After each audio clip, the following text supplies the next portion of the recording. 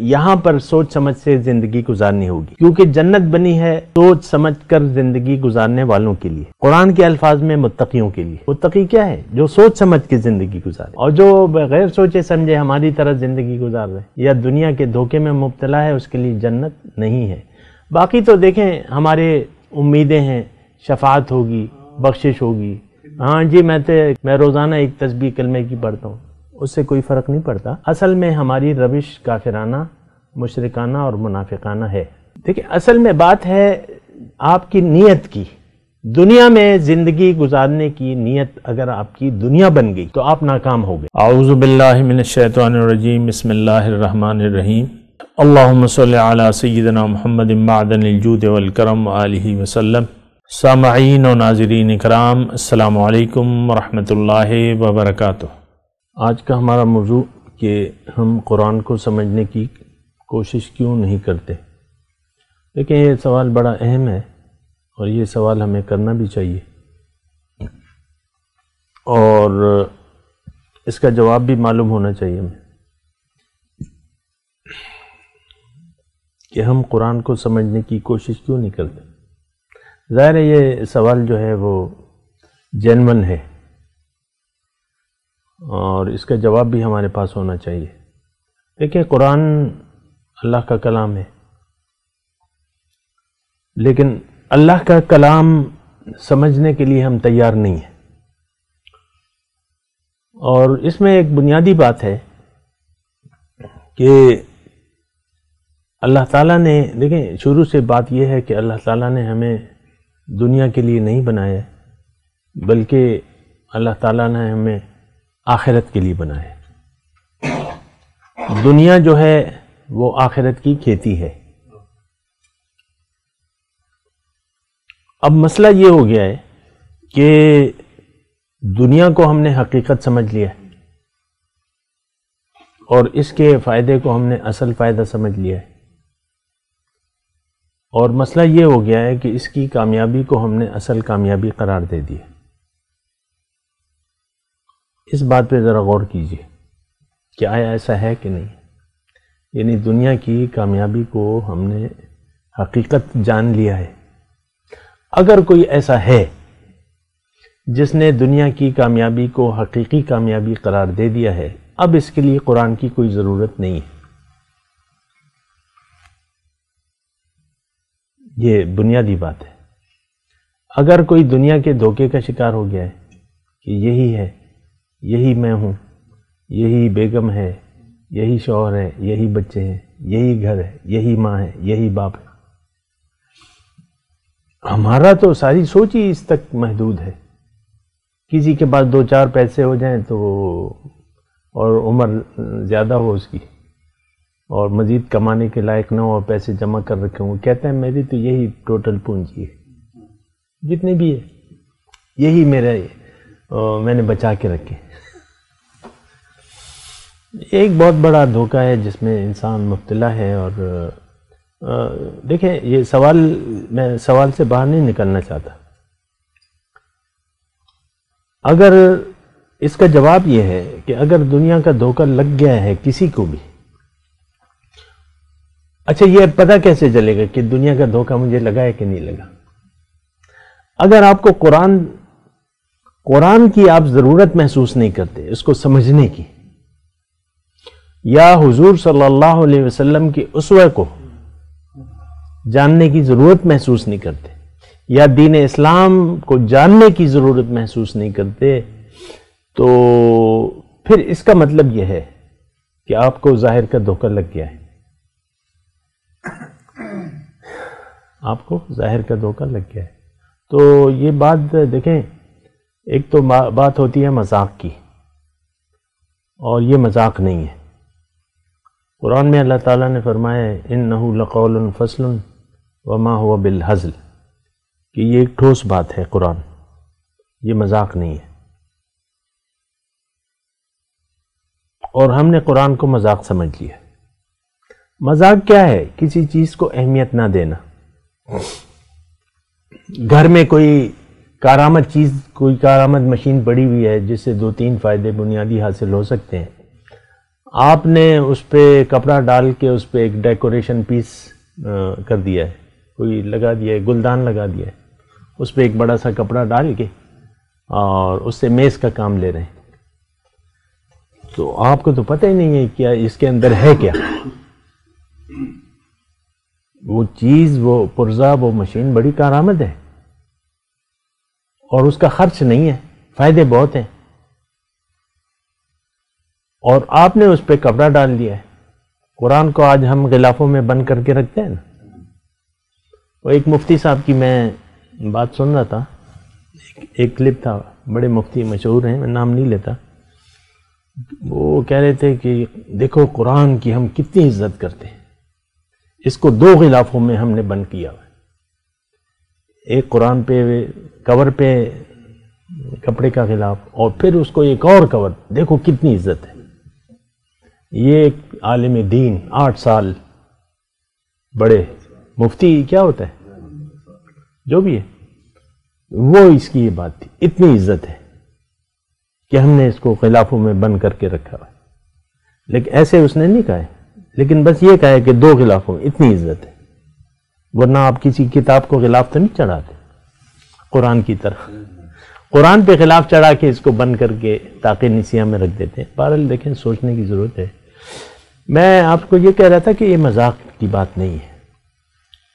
देखें हर चीज़ को हमने इग्नोर कर दिया है। जो हमारे फ़ायदे की चीज़ है, उसको हमने इग्नोर कर दिया है। मिसाल के तौर पे, सोने के कुछ बॉल्स पड़े हुए बॉल्स सोने के, या हीरा हीरा कर लें। कोहिनूर हीरे का कित, कितना वज़न होगा? जितने भी है।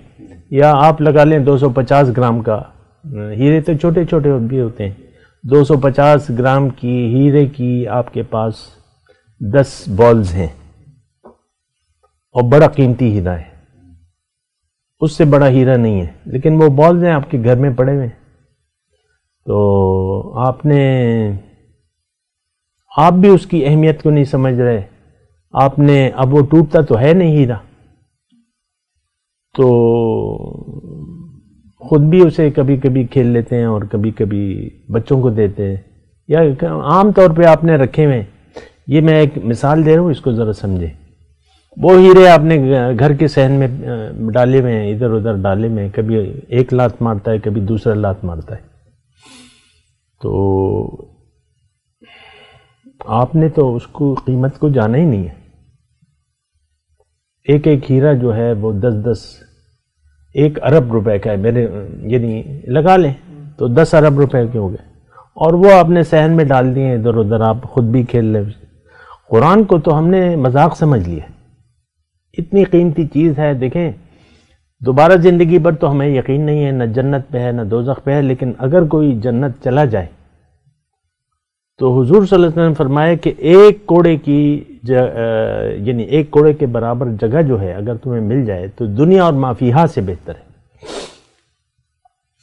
फिर जन्नत में जो नेमतें अल्लाह ताला बयान फरमा रहे कि जो चाहोगे होगा, जो मंगवाओगे वो होगा, और हमेशा के लिए होगा। उम्र तीस साल, कोई बीमारी नहीं, कोई वॉशरूम नहीं। दूध की नहरें, शहद की नहरें, शराब की नहरें कुरान के मतामी हूर गिलमान। तो ये कोई कम चीज़ तो नहीं है, लेकिन हमारा यकीन तो नहीं है। तो मैं ये कह रहा था कि ये मज़ाक नहीं है।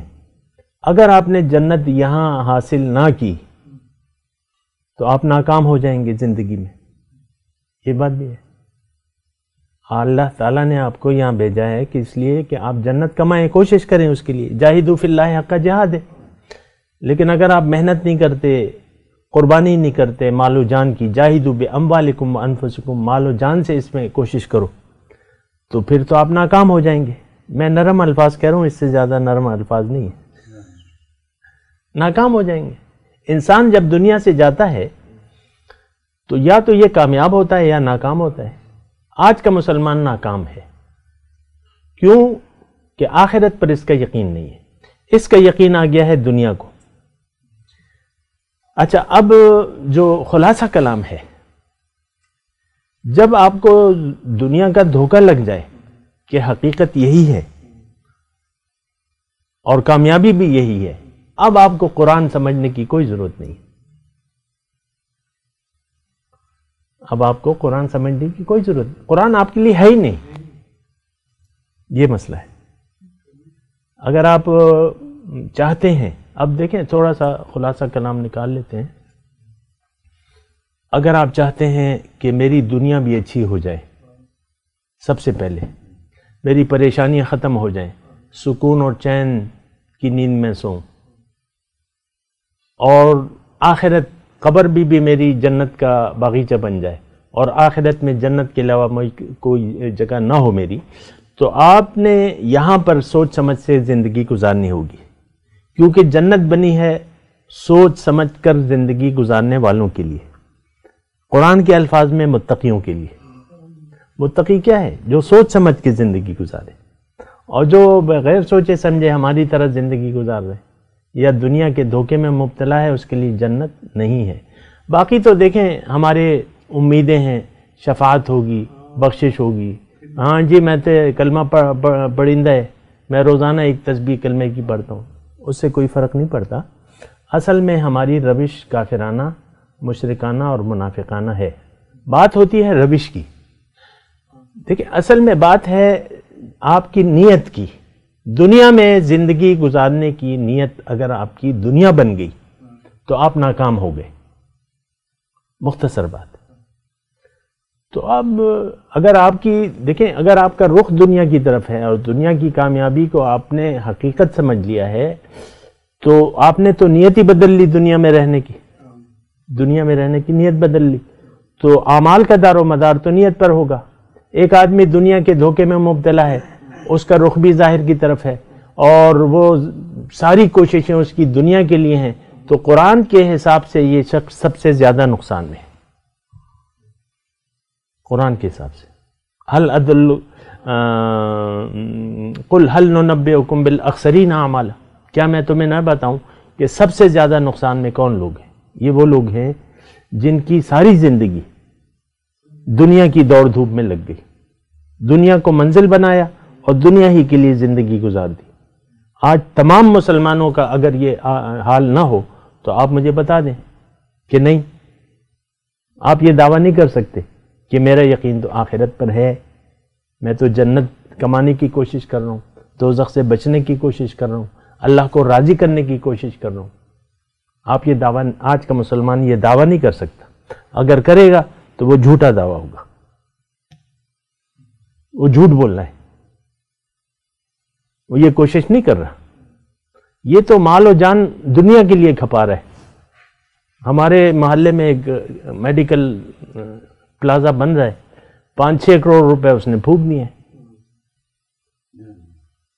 ज़्यादा ही होंगे, कम नहीं होंगे। क्योंकि उसका यकीन है कि ये मुझे फ़ायदा देगा। इससे मैं कमाई करूँगा। तो करोड़ रुपए फूक रहा है वो। यकीन पे बात होती है। आखिरत पर आज के मुसलमान का यकीन नहीं है। तो ये सारी कोशिश, इसका यकीन है दुनिया पर। ये पाँच लाख हैं, ये पाँच करोड़ हैं, ये पाँच अरब है। अब ये न जान खपाने के लिए तैयार है अल्लाह के लिए और न माल खपाने के लिए। और इसकी जान निकलती है काफिर की हालत में।